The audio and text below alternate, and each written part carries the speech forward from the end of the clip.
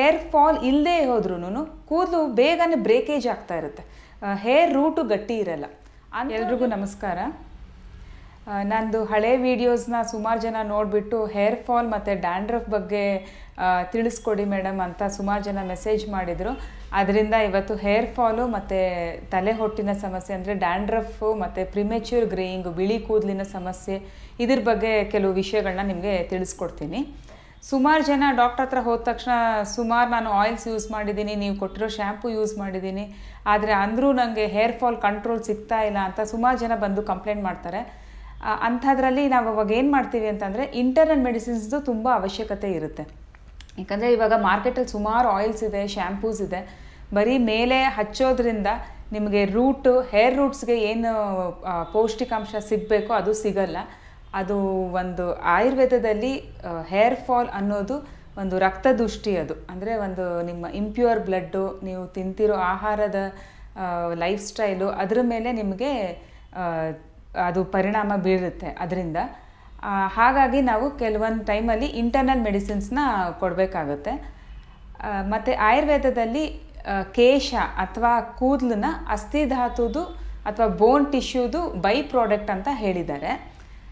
ಹಾಗಾಗಿ ನಾವು ಬೋನ್ ಟಿಶ್ಯೂನ ನಾವು ವೃದ್ಧಿ ಮಾಡೋದ್ರಿಂದ ಅಥವಾ ನಿಮ್ಮ ಒಂದು ಕ್ಯಾಲ್ಶಿಯಂ ಡಿಫಿಷಿಯನ್ಸಿ ಅದನ್ನೆಲ್ಲ ನೋಡಿಕೊಂಡು ನಾವು ಇಂಟರ್ನಲ್ ಮೆಡಿಸಿನ್ಸ್ ಆಗಲಿ ಅಥವಾ hair oils shampoos hair packs ಇದನ್ನೆಲ್ಲನೂ ನಾವು ಕೊಡ್ತೀವಿ ಆಯುರ್ವೇದದಲ್ಲಿ. ಇದಕ್ಕೆ ಕಾರಣಗಳೇನು? ಹೇರ್ ಫಾಲ್ಗೆ ಮತ್ತು ತಲೆ ಹೊಟ್ಟಿಗೆ ಅಂತಂದರೆ ಹೇರ್ ಫಾಲಿಗೆ ಫಸ್ಟ್ ಕಾರಣ ಕೆಲವೊಬ್ಬರಿಗೆ ಡ್ಯಾಂಡ್ರಫೇ ಇರುತ್ತೆ. ಮತ್ತು ಸೆಬೋರಿಕ್ ಡರ್ಮಟೈಟಿಸ್ ಅಂತ ಹೇಳ್ತೀವಿ. ಈ ಫಂಗಲ್ ಇನ್ಫೆಕ್ಷನ್ ಥರ ಆಗಿರುತ್ತೆ. ಸ್ಕ್ಯಾಲ್ಪಲ್ಲಿ ದಪ್ಪ ದಪ್ಪವಾಗಿ ನಿಮಗೆ ಡ್ಯಾಂಡ್ರಫ್ ಉದುರ್ತಾ ಇರುತ್ತೆ. ಅದು ಒಂದು ಸಮಸ್ಯೆ ಇರುತ್ತೆ. ಮತ್ತು ಕೆಲವ್ರಿಗೆ ಹೆರಿಡಿಟಿನೇ ಇರುತ್ತೆ. ಇನ್ನು ಕೆಲವ್ರಿಗೆ ಲ್ಯಾಕ್ ಆಫ್ ನ್ಯೂಟ್ರಿಷನ್ ಅಂತಂದರೆ ನಿಮಗೆ ಪೌಷ್ಟಿಕಾಂಶ ಕಮ್ಮಿ ಇರುತ್ತೆ. ಚೆನ್ನಾಗಿ ಇಂಟೇಕ್ ತೊಗೋತಾ ಇರಲ್ಲ. ಇಲ್ಲ, ನೀವು ತೊಗೋತಾ ಇದ್ರೂ ಅಬ್ಸಾರ್ಪ್ಷನ್ ಕಮ್ಮಿ ಇರುತ್ತೆ. ಮತ್ತು ಕ್ಯಾಲ್ಶಿಯಂ ಡಿಫಿಷಿಯನ್ಸಿ ಇರುತ್ತೆ. ಅಂಥವ್ರಿಗೆಲ್ಲ ನಾವು ನ್ಯಾಚುರಲ್ಲಾಗಿ ಕ್ಯಾಲ್ಶಿಯಂ ಸಪ್ಲಿಮೆಂಟ್ಸ್ನ ಕೊಡಬೇಕಾಗುತ್ತೆ. ಮತ್ತು ಅವರಿಗೆ ಪೌಷ್ಟಿಕಾಂಶ ವೃದ್ಧಿಸೋ ಅಂಥ ಒಂದು ಕೆಲವೊಂದು ಲೇಹಗಳಾಗಲಿ ಅಥವಾ ಮೆಡಿಸಿನ್ಸ್ನಾಗಲಿ ನಾವು ಕೊಡ್ತೀವಿ. ಹಾಗಾಗಿ ಆಯುರ್ವೇದದಲ್ಲಿ ಹೇರ್ ಫಾಲು ಮತ್ತು ಡ್ಯಾಂಡ್ರಫು ಮತ್ತು ಪ್ರಿಮೇಚರ್ ಗ್ರೇಯಿಂಗ್ ಈ ಮೂರನ್ನೂ ಕಂಬೈಂಡ್ ಆಗಿ ನಾವು ಕೊಡ್ತೀವಿ. ಮತ್ತು ಇನ್ನೊಂದು ಏನಂದರೆ ಕೆಲವ್ರಿಗೆ ಹೇರ್ ಫಾಲ್ ಇಲ್ಲದೆ ಹೋದ್ರೂ ಕೂದಲು ಬೇಗನೆ ಬ್ರೇಕೇಜ್ ಆಗ್ತಾ ಇರುತ್ತೆ. ಹೇರ್ ರೂಟು ಗಟ್ಟಿ ಇರಲ್ಲ. ಅಂಥವ್ರಿಗೆ ಕೂಡ ನಮ್ಮಲ್ಲಿ ಒಳ್ಳೆಯ ಆಯಿಲ್ಸ್ ಆಗಲಿ ಮತ್ತು ಹೇರ್ ಪ್ಯಾಕ್ಸ್ ಆಗಲಿ ಶ್ಯಾಂಪೂಸ್ ಆಗಲಿ ತುಂಬಾ ಅವೈಲಬಿಲಿಟಿ ಇದೆ. ಅದನ್ನು ನೀವು ಉಪಯೋಗಿಸ್ಕೋಬಹುದು. ಮತ್ತು ಇವಾಗ ತಡೆಗಟ್ಟೋದು ಹೇಗೆ ಅಂತಂದರೆ ಒಂದು ಆಯಿಲ್ ಮಸಾಜ್ ಮಾಡಬೇಕು. ಸುಮಾರು ಜನ ನಾವು ಶ್ಯಾಂಪು ಹಾಕ್ತಾನೇ ಇದ್ದೀವಿ ಅಂತ ಹೇಳ್ತಾರೆ.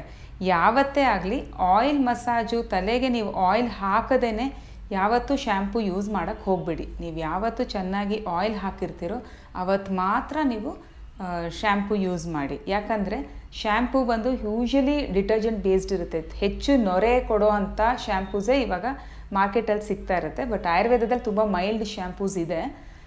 ಅದೇನು ಮಾಡುತ್ತೆ ಅಂತಂದರೆ ನ್ಯಾಚುರಲ್ ಆಯಿಲ್ ಏನು ನಿಮ್ಮದು ಉತ್ಪತ್ತಿ ಆಗ್ತಾ ಇರುತ್ತಲ್ಲ ನಿಮ್ಮ ಸ್ಕ್ಯಾಲ್ಪಲ್ಲಿ ಅದನ್ನು ಕೂಡ ರಿಮೂವ್ ಮಾಡಿ ತುಂಬ ಡ್ರೈ ಮಾಡುತ್ತೆ ಸ್ಕ್ಯಾಲ್ಪನ್ನ ಅವಾಗೇನಾಗುತ್ತೆ ಕಿತ್ಕೊಂಡು ಬಂದ್ಬಿಡುತ್ತೆ ಬೇಗನೆ. ಇವಾಗ ನಾವು ನೀರು ಹಾಕದೇ ಒಣಗೋಗಿರೋ ಮಣ್ಣಿಂದ ಆರಾಮಾಗಿ ನಾವು ಗಿಡಗಳನ್ನ ಕಿತ್ಬೋದು. ಅದೇ ರೀತಿ ಹೇರ್ ರೂಟಿಂದ ಬೇಗನೆ ಕಿತ್ಕೊಂಡ್ಬರುತ್ತೆ ಹಾಗಾಗಿ ತುಂಬ ಬೇಗ ಡ್ರೈನೆಸ್ ಕಾಸ್ ಮಾಡುತ್ತೆ ಶ್ಯಾಂಪೂಸು ಮತ್ತು ಕೆಲವ್ರಿಗೆ ಸ್ಕ್ಯಾಲ್ಪೆ ಡ್ರೈ ಇರುತ್ತೆ. ಅಂಥವ್ರಿಗೂ ಅಷ್ಟೇ, ಯಾವುದನ್ನ ಹೆಚ್ಚು ತಿನ್ನಬೇಕು ತಿನ್ನಬಾರ್ದು ಮತ್ತು ಹೇಗೆ ಆ ಡ್ರೈನೆಸ್ನ ಅವ್ರು ಓವರ್ಕಮ್ ಮಾಡಬೇಕು, ಹೇಗೆ ಕಮ್ಮಿ ಮಾಡ್ಕೋಬೇಕು ಅನ್ನೋದನ್ನು ಕೂಡ ನಾವು ತಿಳಿಸ್ಕೊಡ್ತೀವಿ. ಮತ್ತು ಒಂದೊಂದು ಸತಿ ಪಂಚಕರ್ಮ ಚಿಕಿತ್ಸೆ ಕೂಡ ಇದಕ್ಕೆ ಅವಶ್ಯಕತೆ ಇದ್ದೇ ಇರುತ್ತೆ. ಅದನ್ನು ನೋಡಿಕೊಂಡು ಸಾಧ್ಯವಾದರೆ ಅವ್ರಿಗೆ ಅವಶ್ಯಕತೆ ಇದ್ದರೆ ಅವ್ರ ಹೇರ್ ರೂಟು ಅಥವಾ ಅದು ಸ್ಟ್ರೆಸ್ಸಿಂದ ಇದೆಯಾ, ಯಾವುದು ಕಾರಣಗಳಿದೆ, ಅದನ್ನು ನೋಡಿಕೊಂಡು ನಾವು ಪಂಚಕರ್ಮ ಚಿಕಿತ್ಸೆ ಕೊಡ್ತೀವಿ. ಇನ್ನು ಕೆಲವ್ರಿಗೆ ವಿಟಮಿನ್ ಡಿ ಡಿಫಿಷಿಯನ್ಸಿ ಇರುತ್ತೆ.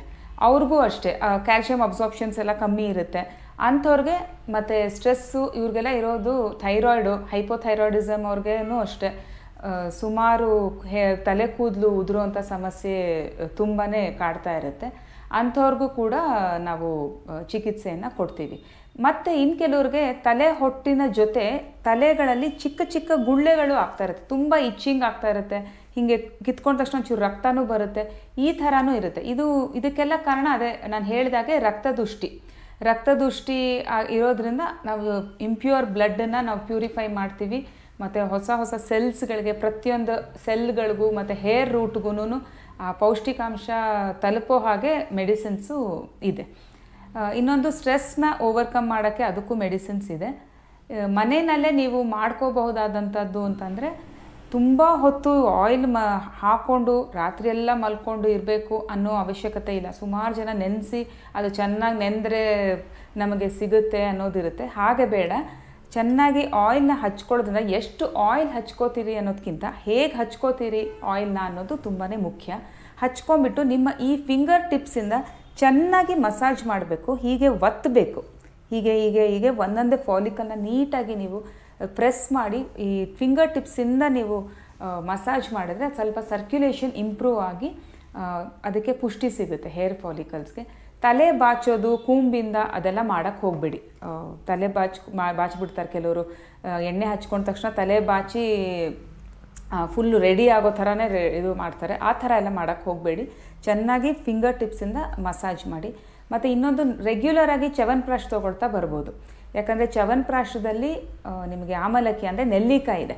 ಅದು ವಿಟಮಿನ್ ಸಿ ತುಂಬ ಹೆಚ್ಚಿರೋ ಅಂಥ ಒಂದು ಹಣ್ಣು. ಆದ್ದರಿಂದ ನಿಮಗೆ ಕ್ಯಾಲ್ಶಿಯಂ ಅಬ್ಸಾರ್ಪ್ಷನ್ ಸಿಗುತ್ತೆ, ಮತ್ತು ತುಂಬಾ ಪೌಷ್ಟಿಕಾಂಶಗಳು ಸಿಗುತ್ತೆ ಚ್ಯವನ್ಪ್ರಾಶದಿಂದ. ಅದನ್ನು ರೆಗ್ಯುಲರಾಗಿ ತೊಗೋಬೋದು. ಮತ್ತು ನಮ್ಮಲ್ಲಿ ಕೆಲವೊಂದು ಟ್ರೀಟ್ಮೆಂಟ್ ಕೊಡೋದ್ರಿಂದ ಪ್ರಿಮೇಚರ್ ಗ್ರೇಯಿಂಗ್ ಆಗೋದು ಒಂದು ಸಮಸ್ಯೆ ಏನು ಅಂತಂದರೆ ಒಂದು ಪೊಲ್ಯೂಷನಿಂದ ಇನ್ನೊಂದು ಪೌಷ್ಟಿಕಾಂಶದ ಕೊರತೆಯಿಂದ. ಪೌಷ್ಟಿಕಾಂಶದ ಕೊರತೆಗೆ ನಾವು ಏನೇನು ಮೆಡಿಸಿನ್ಸ್ ತೊಗೋಬೇಕು, ಕೆಲವರು ಸೊಪ್ಪು, ತರಕಾರಿ ಎಲ್ಲ ತಿಂತೀವಿ, ಆದರೂ ನಮಗೆ ಹೀಗೆ ಕಾ, ಕೂದಲು ಉದುರ್ತಾನೇ ಇದೆ ಅಂತ ಹೇಳ್ತಾರೆ. ಕೆಲವರು ಡ್ಯಾಂಡ್ರಫು ಕಮ್ಮಿ ಆಗಲ್ಲ. ಅಂಥವ್ರಿಗೆ ನಾವು ಬೇರೆ ಎಕ್ಸ್ಟ್ರಾ ಮೆಡಿಸಿನ್ಸ್ ಕೊಟ್ಟು ಪೌಷ್ಟಿಕಾಂಶ ಹೆಚ್ಚಾಗೋ ಹಾಗೆ, ಮತ್ತು ನೀವು ತಿನ್ನೋ ಆಹಾರ ನಿಮ್ಮ ಬಾಡಿ ಅಬ್ಸಾರ್ಬ್ ಆಗೋ ಹಾಗೆ ನಾವು ಟ್ರೀಟ್ಮೆಂಟ್ನ ಕೊಡ್ತೀವಿ. ಇದು ಮನೆಯಲ್ಲೇ ನೀವು ಮಾಡ್ಕೋಬಹುದಾದಂತು, ಮತ್ತು ಹೆಚ್ಚು ನೀರು ಕುಡಿಬೇಕು. ನೀರು, ಎಳ್ನೀರು, ಮಜ್ಜಿಗೆ, ಇದು ಹೆಚ್ಚು ಕುಡಿಬೇಕಾಗುತ್ತೆ.